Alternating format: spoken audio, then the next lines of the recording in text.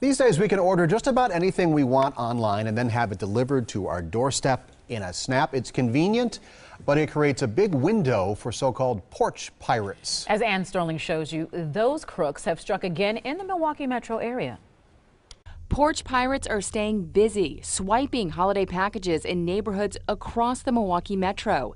The latest trouble is being reported in Whitefish Bay. Having just moved here, I actually didn't know that. Police say seven packages were stolen in a five day period.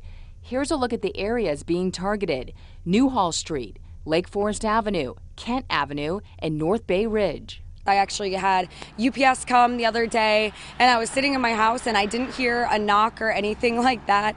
And then all of a sudden I looked, I said, Oh, hey, there's my package. And thankfully, you know, it was the larger box like I was talking about. So I don't think anyone was going to be able to move it on their own. Police say it doesn't matter if the box is big or small. Crooks are stealing just about anything. InsuranceQuotes.com says 23 million Americans had packages stolen from their doorsteps last year.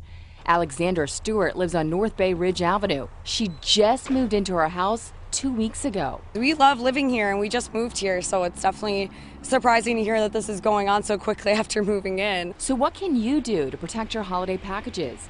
Have your items delivered at work.